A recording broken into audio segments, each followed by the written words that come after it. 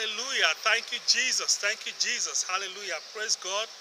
I'm Andy Lumeh, Black Evangelist. I'm Andy Lumeh, Black Evangelist. I'm here today in my neighborhood at South Kensington and Chelsea, uh, just presenting this program. It's a lovely day. Today is the 5th, the 5th of April, 2017. The time now is 7.45 p.m. in the evening. Let us pray. Holy Spirit, we welcome your presence here more mightily. Come and heal the sick, cast out demons, open blind eyes, free the prisoners, and proclaim liberty to the captives. Open your Bibles to Isaiah chapter 33, verse 17. Once again, you will see a king ruling in splendor over a land that stretches in all directions. God is prophesying that when there is corruption in the land, this is London, England, it's a city full of corruption, vice, murder, and racism. God said, once again, you will see a king ruling in splendor and majesty, his land stretched in all directions. So there's going to be a change in leadership. England is going to have a new prime minister. God spoke to me to be the first black prime minister of England. If you don't see anyone here, that's fine. Um, we are making this program for our people on internet, not so much for people here. Hello. Our Lord God, thou hast made the heavens and the earth by your great power. Now, this is the part I want to say. I want to read this quickly before we finish today.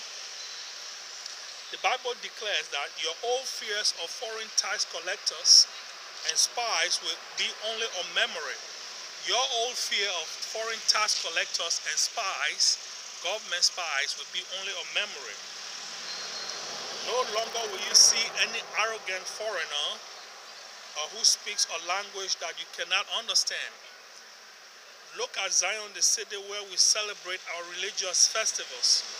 Look at Jerusalem, what a safe place it will be to live in. Right now, Kensington and Chelsea is now a safe place for black people to live in. There is uh, genocide, police genocide of black people here. A black woman, African woman who lived near here, uh, she came to our church crying, the church, the black church. She said at midnight, uh, seven policemen went in her house and put a gun on her bike and forced her out of her house. And they took her to an unknown place and raped her.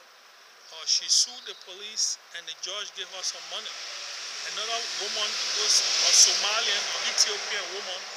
She also complained that for the past 20 years, the genocidal, lying, perjuring, racist policemen, white policemen of Chelsea, have been raping her every weekend. They'll go in her house, they'll, they'll smash the door open, and they'll force their way in her house and rape her.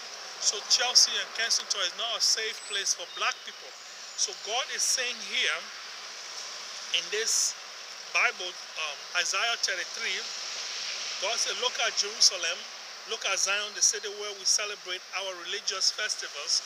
Look at Jerusalem, what a safe place it will be to live in. So we are prophesying that Kensington and Chelsea will be a very safe place to live in. Kensington and Chelsea is going to be a very safe place to live in. This is the prophecy God is giving.